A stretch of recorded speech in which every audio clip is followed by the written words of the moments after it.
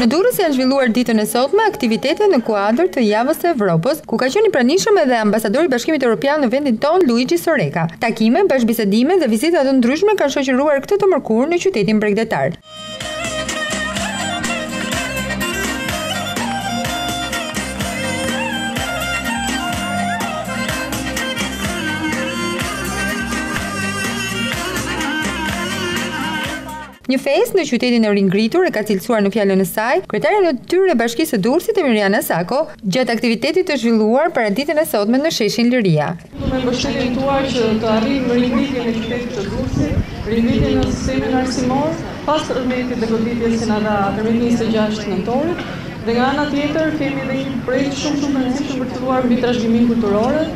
Le të jetë kjo javë dhe kjo festë sot për të për të shijuar Durrësin si qytetin e ringritur.